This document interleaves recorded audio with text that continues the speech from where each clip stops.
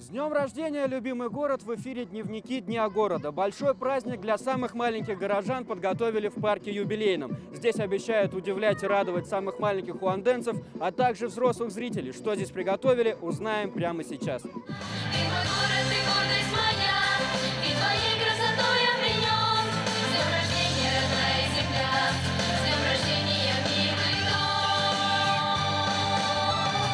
В этом году мы постарались сделать парки все тематическими, поэтому в парке юбилейный сосредоточена площадка, посвященная детям.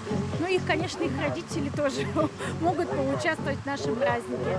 Поэтому все, что связано с детьми, с детством, находится в парке юбилейном.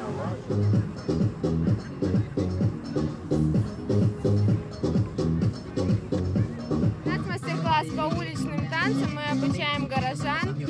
Современным видам искусства. А есть какое-то самое простое, элементарное движение, которому можно обучиться даже неподготовленному человеку?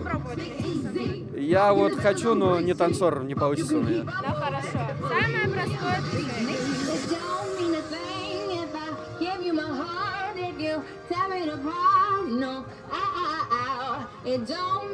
Все нравится, нам всегда все нравится. До самого вечера здесь будет? Да. Мне понравилось запускать пузыри и делать квикинг, ну и кататься на аттракционах. Мгм. А как ты вообще, вот, э, город наш, за что ты любишь наш город? То, что он очень красивый, ну и красочный. Людей в парке юбилейном становится все больше. Посмотрите, сколько народу. Люди наслаждаются праздником, слушают музыку, но празднуют День города и в парке Орешково. Что там приготовили для горожан и гостей столицы, расскажем прямо сейчас.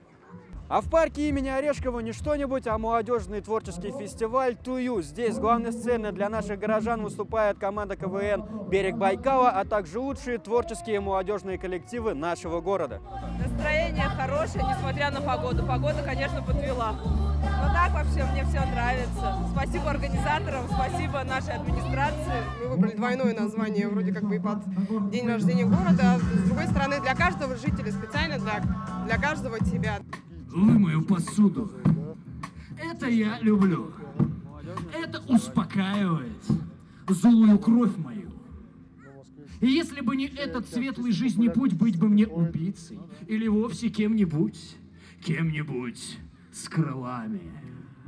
Спеть в караоке под открытым небом, послушать стихи на свежем воздухе и просто получить заряд позитива и хорошего настроения смогли те, кто посетил сегодня парк Орешково. Программа здесь продлится до самого позднего вечера. Андрей Слепнев, Бато Гармын, Дневники Дня города.